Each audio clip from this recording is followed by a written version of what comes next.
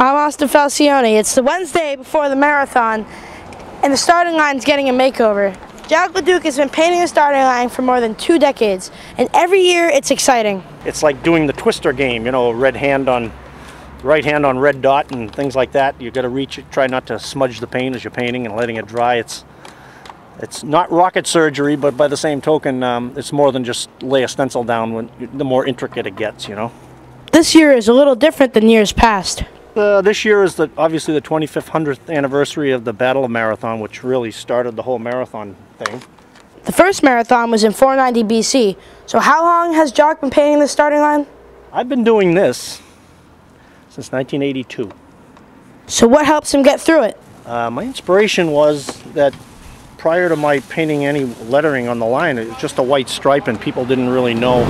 Second coat. It was a start line. It looked like a half a crosswalk. So I decided to dress it up. I asked the marathon committee if that was okay, and the then chairman, Tim Kilduff, said, yeah, go ahead. And he usually has some help. My daughters, Laura and Jean, my friend Paul Buzzy Buswell. Uh, Doc Bobeck used to, but he's uh, not able to really uh, contribute like he'd like to.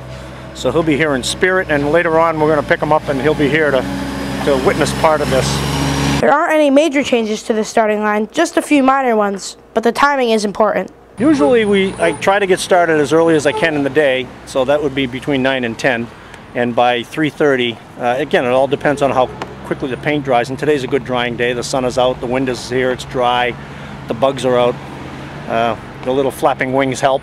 Not only does Jacques paint the starting line, but he's also a marathon runner. Uh, well, not every year. This race is 114 years old, um, but I've only done the last 13.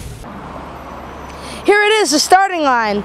On Monday, thousands of runners will begin their 26.2 mile journey right here. I'm Austin Falcione for HopNews.com.